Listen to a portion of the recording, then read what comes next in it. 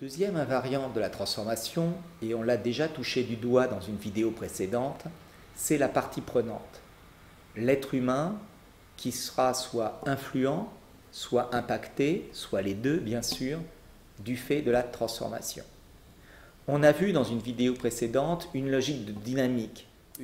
Une fois que on a identifié l'ensemble des parties prenantes, il est très pratique de les positionner dans les cadrans que vous voyez là. Et on va les traiter par ordre de priorité. Le cadran le plus prioritaire, c'est le cadran rouge. C'est le cadran des promoteurs, dans lequel on va trouver vos champions. Ces promoteurs sont vos avocats.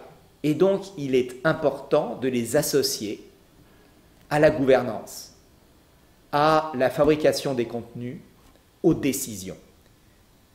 Ils ne sont pas simplement des faire-valoir et des gens que vous allez mettre en avant. Donnez-leur une voix au chapitre. Faites en sorte qu'ils soient représentés, par exemple, dans le comité de pilotage euh, de la transformation. Faites un peu attention à eux. Mettez-les dans des situations gagnant-gagnant. J'ai eu l'occasion de voir des situations dans lesquelles nos promoteurs se surengageaient dans la transformation, promettez des choses que nous ne saurions pas tenir, et de ce fait-là, mettez en risque et le projet et leur crédibilité personnelle. Donc attention à leur accompagnement, soyez sûrs que les promoteurs ne disent pas de bêtises, ne se surengagent pas, ne se surengagent pas non plus en termes de présence sur le projet, ils ont leur rôle à jouer dans leur métier. La deuxième population extrêmement importante sur laquelle vous devrez donc passer du temps, nous sommes vraiment dans l'idée de priorité au sens temps consacré par l'équipe conduite du changement.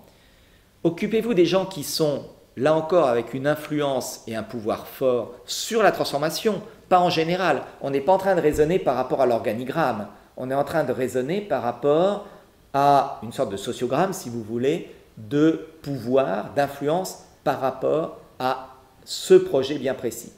Une personne peut être extrêmement influente du fait de sa crédibilité technique, de son historique personnel, et n'être rien, entre guillemets, sur le rien dans l'organigramme. Je l'ai vu plus d'une fois. Vous l'avez certainement rencontré plus d'une fois. Donc, dans ces cadrans, séparés par le fait d'être en accord avec le projet et en bénéficier du projet et être influent ou pas, ce deuxième cadran, des gens qui sont influents mais ne sont pas d'accord avec le projet. Et ils peuvent ne pas être d'accord avec le projet pour de bonnes raisons. La meilleure des raisons étant, ils en souffrent.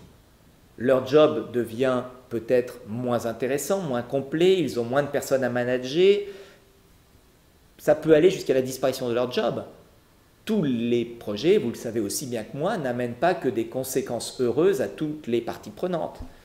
Et donc, ces gens qu'on appelle des latents, ce qui euh, probablement est un terme un peu barbare pour vous et moi, donc eux, on va les impliquer sur des sujets qui les concernent directement et on va identifier leurs problèmes. Une fois de plus, comme je viens de le dire, s'ils sont dans ce cadre-là, ça peut être parce qu'ils ont de vrais problèmes. Identifions les problèmes. Une fois qu'ils sont identifiés, traitons-les avec eux. Et euh, bah, probablement, quand on va correctement traiter leurs problèmes, quand on va les associer sur leur domaine d'expertise, euh, on va avoir un déplacement davantage vers le centre du diagramme, voire même du côté des promoteurs. Ils sont une population très critique. Ensuite, deux populations moins critiques parce que moins influents, mais quand même importants, ce sont les défenseurs et on verra en dernier les apathiques. Les défenseurs sont la troisième population importante. Ils sont un peu un reflet du ventre mou qu'on voyait tout à l'heure dans la diapositive précédente et dans l'écran euh, précédent. Eux, ils n'ont pas vraiment de pouvoir, mais ils sont pour. Ils sont plutôt pour le changement. Et donc, ce sont des gens très très bien à faire intervenir dans les phases de dépression, parce qu'ils sont crédibles, ils n'ont pas d'enjeu de pouvoir. Donc, ils vont raconter une histoire, et cette histoire va parler aux gens.